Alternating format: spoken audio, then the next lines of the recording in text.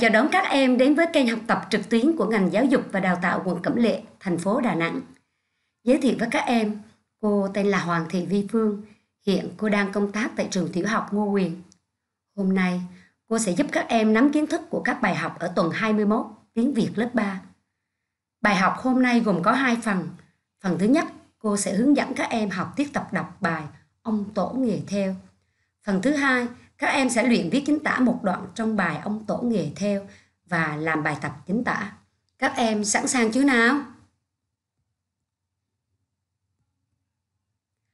Mục tiêu bài học ngày hôm nay sẽ giúp các em hiểu nghĩa của các từ có trong bài như đi sứ, lọng, bức trướng, chè lam, nhập tâm, bình an vô sự, thường tín, Phật trong lòng, nghề theo vân vân.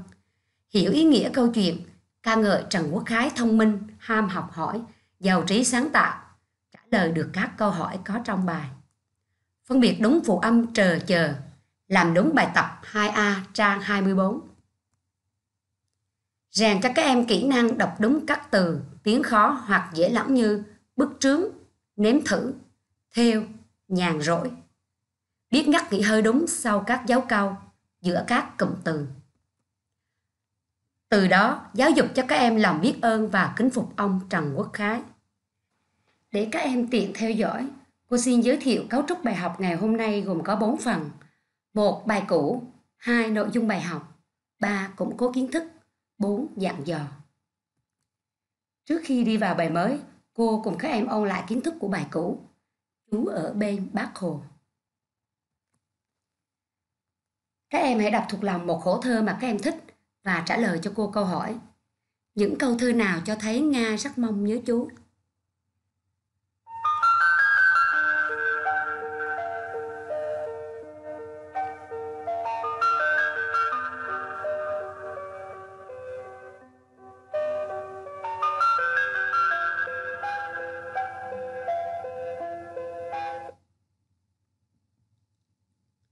Bạn Nga thắc mắc chú đi bộ đội, sao lâu quá là lâu? Và nhớ chú Nga thường nhắc, chú bây giờ ở đâu? Chú ở đâu? Ở đâu? Tiếp theo các em cho cô biết, khi Nga nhắc đến chú, thái độ của ba và mẹ ra sao?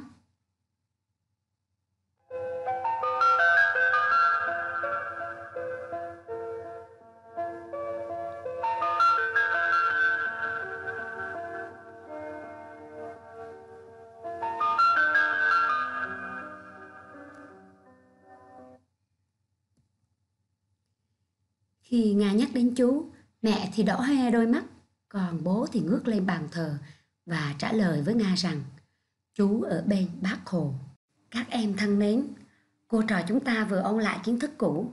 Bây giờ cô cùng các em sẽ bước sang bài học ngày hôm nay nhé. Thế các em có biết nghề theo có từ bao giờ không? Nhằm giúp các em biết được nghề theo bắt nguồn từ đâu và ai là người đầu tiên của nước ta biết đến nghề theo. Ở phần 1, Cô sẽ hướng dẫn các em học tập đọc bài Ông Tổ Nghề Theo. Mời các em mở sách giáo khoa trang 22 và lắng nghe cô đọc bài. Ông Tổ Nghề Theo Hồi còn nhỏ, cậu bé Trần Quốc Khái rất ham học. Cậu học cả khi đi đốn củi, lúc kéo vó tôm. Tối đến nhà không có đèn, cậu bắt đôn đốn bỏ vào vỏ trứng, lấy ánh sáng đọc sách. Chẳng bao lâu, ái đỗ tiến sĩ, rồi làm quan to trong triều đình nhà Lê. Một lần, Trần Quốc Khái được triều đình cử đi sứ bên Trung Quốc. Vua Trung Quốc muốn thử tài sứ thần, sai dựng một cái lầu cao, mời ông lên chơi rồi cắt thang đi. Không còn lối xuống, ông đành ở lại trên lầu. Lầu chỉ có hai pho tượng Phật, hai cái lọng, một bức trướng theo ba chữ Phật trong lòng và một vò nước. Bụng đói mà không có cơm ăn. Trần Quốc Khái lẩm nhẩm đọc ba chữ trên bức trướng, rồi mỉm cười. Ông bẻ tay pho tượng ném thử, thì ra hai pho tượng ấy nặng bằng bột chè lam. Từ đó, ngày hai bữa, ông cứ ung dung bẻ dặn tượng mà ăn. Nhân được nhàn rỗi, ông mày mò quan sát, nhớ nhập tâm cách theo và làm lọng. Học được cách theo và làm lọng rồi, ông tìm đường xuống thấy những con dơi xòe cánh trao đi trao lại như chiếc lá bay ông liền ôm lọng nhảy xuống đất bình an vô sự. Vua Trung Quốc khen ông là người có tài, đặt tiệc to tiễn về nước. Về đến nước nhà, Trần Quốc Khái truyền dạy cho dân nghề theo và làm lọng. Dần dần, nghề theo lan rộng ra khắp nơi. Nhân dân vùng thường tín quê ông lập đền thờ và tôn ông là ông tổ nghề theo, theo Ngọc Vũ. Ở bài tập đọc này, các em đọc với giọng chậm rãi, khoan thai. Khi đọc, cần chú ý ngắt nghỉ hơi đúng sau các dấu câu giữa các cụm từ. Cần nhấn giọng ở những từ ngữ thể hiện sự thông minh, tài trí, bình tĩnh của ông Trần Quốc Khái như ham học, lẩm nhẩm, mỉm cười, nếm thử, ung dung, quan sát. Bài đọc này được chia thành 5 đoạn, tương ứng với các số đứng đầu mỗi đoạn. Nhằm giúp các em luyện đọc tốt hơn, cô mời các em luyện đọc các từ khó sau. Bức trướng Nếm thử Theo Nhàn rỗi Tiếp theo, cô cùng các em luyện đọc các đoạn của bài. Khi cô đọc mẫu, các em đọc thầm theo cô nhé. Cô mời các em luyện đọc đoạn 1. Hồi còn nhỏ, cậu bé Trần Quốc Khái rất ham học. Cậu học cả khi đi đốn củi, lúc kéo vó tôm. Tối đến, nhà không có đèn, cậu bắt đom đóm bỏ vào vỏ trứng, lấy ánh sáng đọc sách. Chẳng bao lâu, Khái đỗ tiến sĩ, rồi làm quan to trong triều đình nhà Lê. Chúng ta cùng luyện đọc đoạn 2. Một lần, Trần Quốc Khái được triều đình cử đi sứ bên Trung Quốc. Vua Trung Quốc muốn thử tài sứ thần, sai dựng một cái lầu cao, mời ông lên chơi rồi cắt thang đi. Không còn lối xuống, ông đành ở lại trên lầu. Lầu chỉ có hai pho tượng Phật, hai cái lọng, một bức trướng theo ba chữ Phật trong lòng và một vò nước. Đoạn 3 Bụng đói mà không có cơm ăn, Trần Quốc Khái lẩm nhẩm đọc ba chữ trên bức trướng, rồi mỉm cười. Ông bẻ tay pho tượng ném thử, thì ra hai pho tượng ấy nặng bằng bột chè lam. Từ đó, ngày hai bữa, ông cứ ung dung bẻ dần tượng mà ăn. Nhân được nhàn rỗi, ông mày mò quan sát, nhớ nhập tâm cách theo và làm lộng. Đoạn 4 Học được cách theo và làm lộng rồi, ông tìm đường xuống, thấy những con dơi xòe cánh trao đi, trao lại như chiếc lá bay. Ông liền ôm lọng nhảy xuống đất, bình an vô sự. Vua Trung Quốc khen ông là người có tài, đặt thiệt to tiến về nước. Ở đoạn 4 có câu văn sau hơi dài, cô sẽ hướng dẫn cách ngắt giọng để việc đọc của các em trở nên dễ dàng hơn. Các em nghe cô đọc mẫu thấy những con dơi xòe cánh trao đi, trao lại như chiếc lá bay. Ông liền ôm lòng nhảy xuống đất, bình an vô sự. Đoạn 5 về đến nước nhà, trần quốc khái truyền dạy cho dân nghề theo và làm lọng. Dần dần, nghề theo lan rộng ra khắp nơi. Nhân dân vùng thường tín quê ông, lập đền thờ và tôn ông là ông tổ nghề theo. Nhằm giúp các em hiểu rõ hơn về nội dung bài đọc Cô sẽ giải nghĩa một số từ. Các em lắng nghe nhé. Đi sứ, đi giao thịt với nước ngoài theo lệnh vua. Lọng, hoặc làm bằng vải hoặc lụa, căng trên khung tre, gỗ hay kim loại, thường dùng để che đầu tượng thần, tượng Phật hay vua quan trong nghi lễ quan trọng. Đây là hình ảnh chiếc lọng đấy các em. Bức trướng, bức lụa vải trên có theo chữ hoặc hình dùng làm lễ vật tặng phẩm. Chè lam, bánh ngọt làm từ bột bỏng nếp ngào mật, pha với nước gừng. Nhập tâm, nhớ kỹ như thuộc lòng. Bình an vô sự, bình yên, không có chuyện gì xấu xảy ra. Thường tín, một huyện thuộc tỉnh Hà Tây. Nghề theo Nghề lao động bằng tay và óc sáng tạo, dùng kim chỉ để tạo nên những hình mẫu, đường nét tinh xảo trong nghệ thuật trang trí. Cô mời các em xem đoạn clip ngắn sau để hiểu rõ hơn về nghề theo. Đây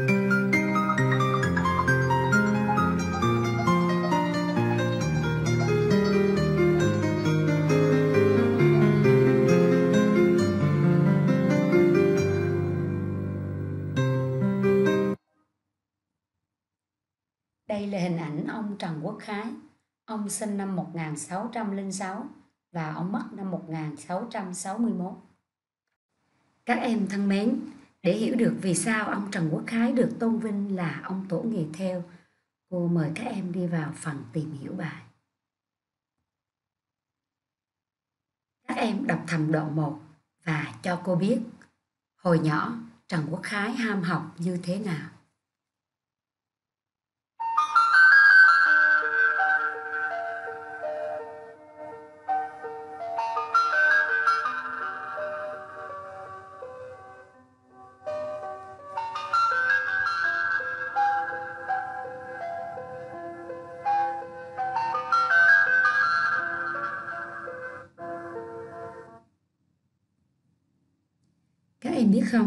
Thuở nhỏ, ông Trần Quốc Khái đã học ngay cả khi đi đốn củi, lúc kéo vó tôm. Tối đến, nhà nghèo không có đèn, ông bắt đom đóm bỏ vào vỏ trứng, lấy ánh sáng mà học. Đây là hình ảnh kéo vó tôm đấy các em ạ. Còn đây là những con đom đóm, dưới bụng của chúng phát sáng các em thấy không? Người ta đã bắt những con đom đóm này bỏ vào trong vỏ trứng để lấy ánh sáng đọc sách. Tiếp theo cô mời các em đọc thầm đoạn 2 và cho biết vua Trung Quốc đã nghĩ ra cách gì để thử tài sứ thần Việt Nam.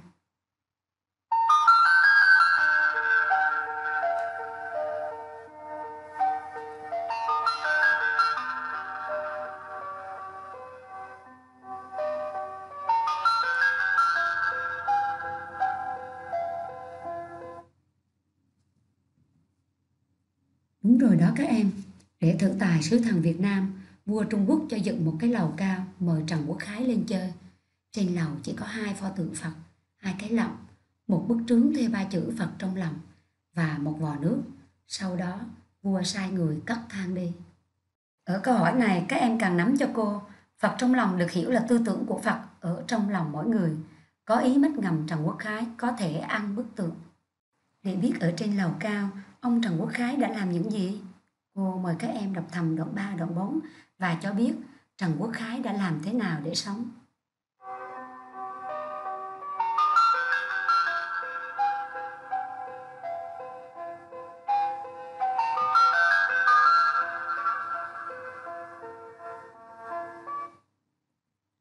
Ở trên lầu cao, bụng đói mà không có cơm ăn. Ông quan sát đọc, ngẫm nghĩ và hiểu được nghĩa của ba chữ Phật trong lòng. Vậy là ngày ngày ông bẻ dần tượng để ăn vì tượng được làm bằng bột chè lam. Thế ở trên lầu, Trần Quốc Khái đã làm thế nào để không bỏ phí thời gian?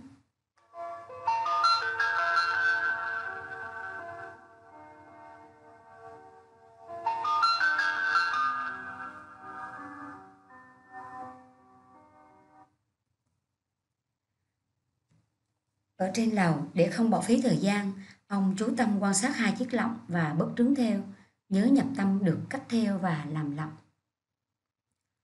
Cuối cùng, Trần Quốc Khái đã làm thế nào để xuống đất bình an vô sự?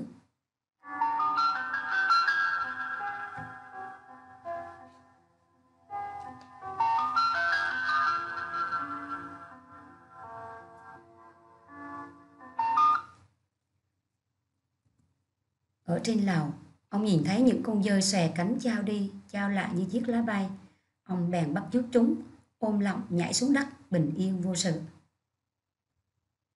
Tiếp theo cô mời các em đọc thầm đoạn cuối của bài và cho biết vì sao Trần Quốc Khái được suy tôn là ông tổ nghề theo.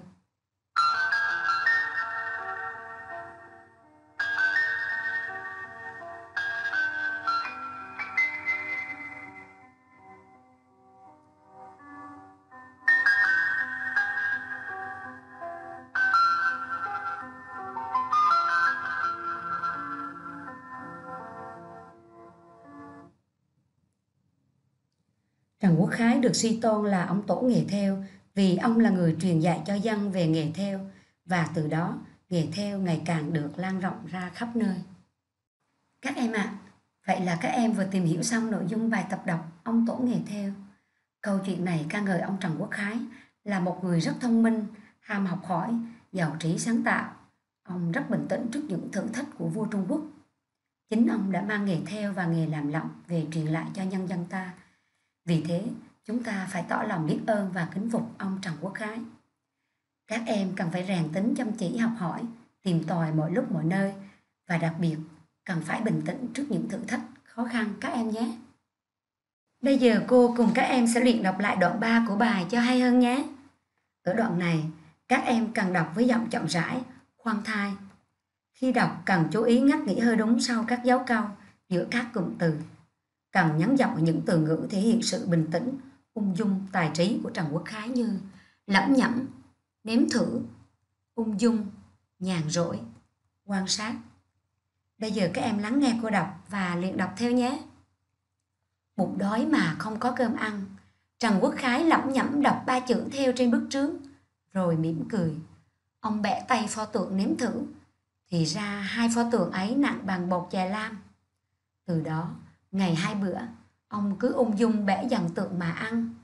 Nhân được nhàn rỗi, ông mày mò quan sát, nhớ nhập tâm cách theo và làm lọng. Các em thân mến, chúng ta vừa hoàn thành xong phần luyện đọc và tìm hiểu bài tập đọc ông tổ nghề theo.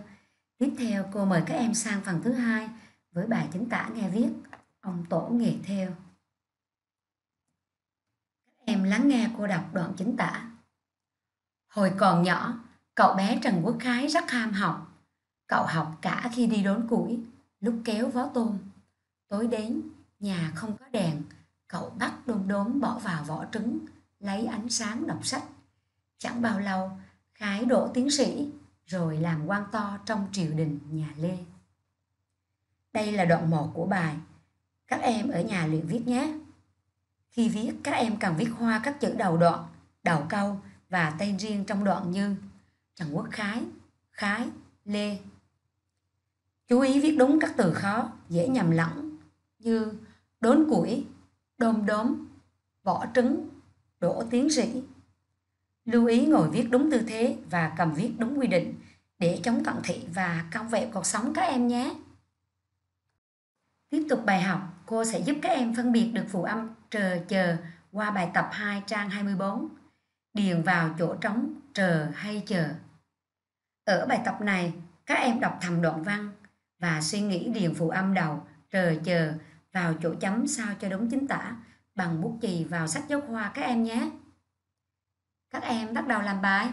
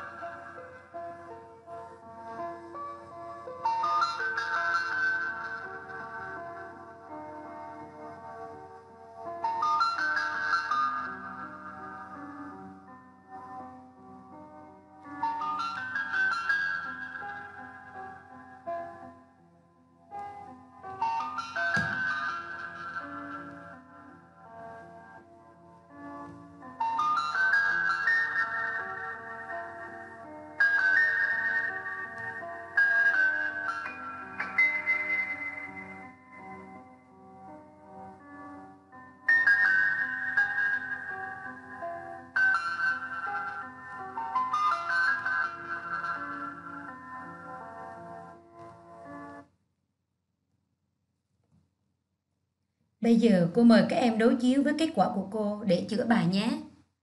Trần Quốc Khái thông minh, chăm chỉ học tập nên đã trở thành tiến sĩ, làm quan to trong triều đình nhà Lê, được cử đi sứ Trung Quốc.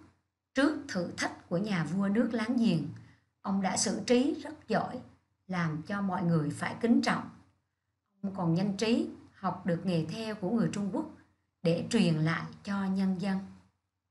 Các em ạ, à, để củng cố thêm kiến thức, cô yêu cầu các em tìm thêm các từ chứa tiếng có phụ âm đầu trờ chờ. Các em bắt đầu làm bài.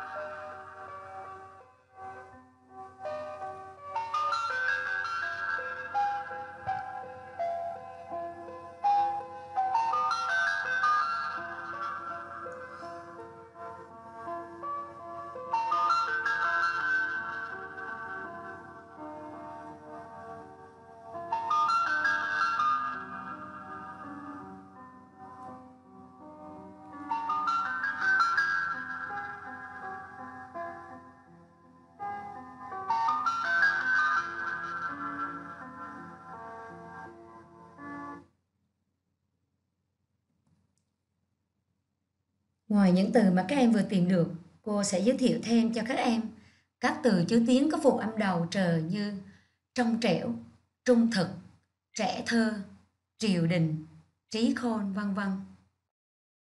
Các từ chứa tiếng có phụ âm đầu chờ như chập chững, chung vui, che chở, chúc mừng, cha mẹ, vân vân. Vậy là cô trò chúng ta đã hoàn thành xong bài học ngày hôm nay rồi.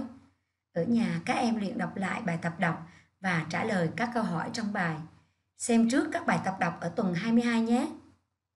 Cô rất vui vì các em đã đồng hành cùng cô ở tiết học ngày hôm nay. Cô chúc các em học tập thật tốt ở những bài học tiếp theo nhé. Trong quá trình học, nếu có thắc mắc, các em hãy liên hệ với cô qua địa chỉ Gmail vi phương nq.79 a gmail.com hoặc liên hệ với cô qua số điện thoại 0905 020 171. Xin chào tạm biệt và hẹn gặp lại các em.